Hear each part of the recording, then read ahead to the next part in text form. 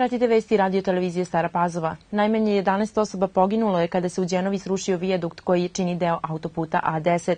Zvaničnici tvrde da ima više mrtvih i da je moguća tragedija ogromnih razmera. Desetine ljudi su zarobljeni ispod ruševina, a tragediji je prethodila jaka oluja. Zvaničnici sumnjaju da je nedovoljna stabilnost konstrukcije uzrok pada. Reuters navodi da je nadvožnjak izgrađen 60. godina prošlog veka, a rekonstruisan 2016. godine. Predsednik Srbije Aleksandar Vučić rekao je danas da je sasvim sigurno da će se sa predsednikom privremenih vlasti u Prištini Hašimom Tačijem sastati početkom septembra u Briselu, ističući da će to biti prilika da se sagleda da li postoji mogućnost za izlaz iz teške situacije u kojoj se nalazimo.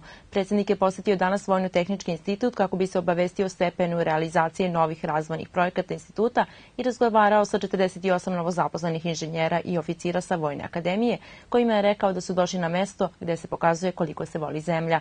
Ministarstvo odbrane ranije najavilo da će tom institutu u novembru 2018. godine biti uplaćeno 4 miliona dinara za stimulaciju, kao i da su počela da se ulažu sredstva kako bi se poboljšao materijalni položaj stručnjaka u ovom institutu.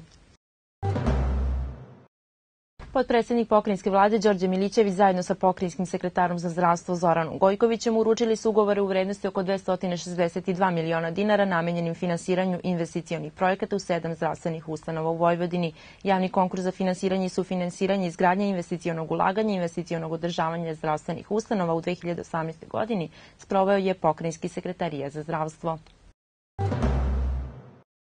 U našoj zemlji postoji preko 2000 pružnih prelaza u nadležnosti akcionarskog društva za upravljanje javnom železničkom infrastrukturom infrastruktura železnice Srbije. Najveći broj putnih prelaza obezbeđen je samo znacima drumske signalizacije, dok znatno manji broj pružnih prelaza ima signalno sigurnosnu opremu. Samo tokom prošle godine zbog nepažnjene opreznosti i neodgovorne vožnje dogodilo se 57 nezgoda, dok je nastradalo 8 osoba. Svakog dana zbog krađe delova železničke infrastrukture nije u funkciji oko 20 pružnih prelaza od ukupno 2136 šest koliko ih ima u našoj zemlji.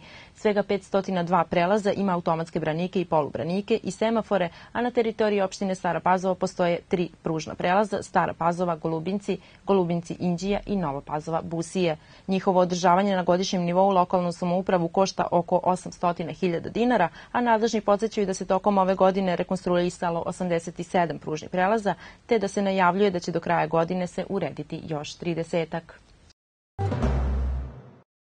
Na izbornoj sednici Skupštine Crvenog krsta Stara Pazova izabrano je radno telo ove organizacije, upravnog i nadzornog odbora, kao i predsednika i podpredsednika ove organizacije.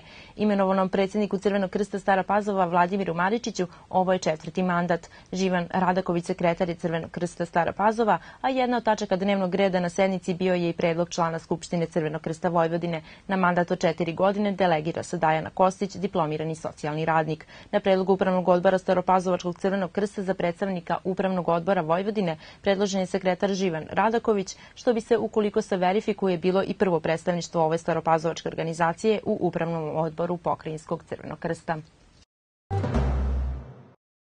Staropazovački crveni krst u saradnji sa Kancelarijom za mlade obeležio je prezentaciju Međunarodni dan mladih pod sloganom Sigurno mesto za mlade koji se širom sveta obeležava 12. augusta u poslednjih 18 godina. Cilj prezentacije bio je da se pokrene motivacija kod mlađe populacije da se što više angažuju kako bi se kreativnost isplivala na površinu, ali i da bi došlo do posla kako se predstavlja njihov najveći problem u današnje vreme, takođe da se ukaže da zajedno može da se izgradi siguran prostor u smislu sistema kao i fizičkog građanskog prostora. Elektrodistribucija najavljuje radove na elektromreži za sutra 15. avgusta u Staroj Pazovi, kada će u periodu od 9 do 13 časova bez struje biti ulice Karadžorđeva od broja 60 do Nikole Tesle i od broja 61 do Milivoje Veselinovića, Nikole Momčilovića, od Karadžorđeve do Hvjezoslavove, Martina Kopčika, Boračka, Hvjezoslavova od 1 do 63 i od 2 do 70, Karadžorđeva od broja 3 do Svetosavske broja 18, Svetosavska od broja 2 do Zmajovine ulice, Kralje Petra I od Svetosavske do Novosadske Gradske ulice, Branka Radičevića od broja 2 do 18, kao i od broja 3 do Zmaj Jovine ulice, Slovenski trg, trg doktora Zorana Đinđića, Jana Kolara od početka do broja 37 i 40, Zmaj Jovina drugi deo do broja 83. U slučaju loših vremenskih uslova radovi će biti odloženi.